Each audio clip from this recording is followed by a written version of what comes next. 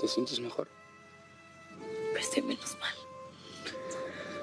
Gracias. Me gustaría regresarte la alegría a la vida. Sí me la regresaste. Carlos, la tristeza que yo tengo ahorita más bien tiene que ver con las decisiones que mis papás tomaron cuando eran jóvenes. Cuando pues, tenían mi edad más o menos. Nuestros papás. Porque de un modo u otro mi madre está involucrada en todo esto. No. Señora Marisa no tiene nada que ver con mi mamá enamorándose de ese hombre. Y con que ese señor no me quisiera desde antes de que yo naciera.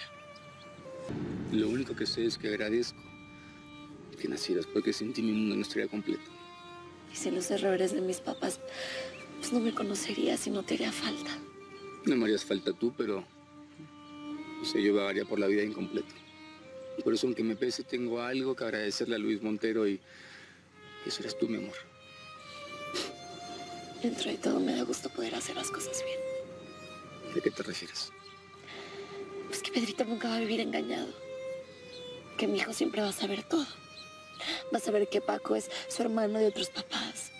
Que tú eres su papá, que yo soy su mamá. Ah, eso sí. Nada de casarse con Farías y enjaretarle a mi hijo, ¿eh? Él es mío, tiene mis ojos, ¿eh? La vida de mi hijo va a ser bien diferente a la mía. Porque tú y yo no- nos vamos a encargar de hacerlo feliz, ¿verdad? Pedrito va a crecer en un lugar lleno de amor.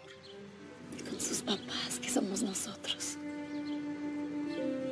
Te amo. Te amo mucho.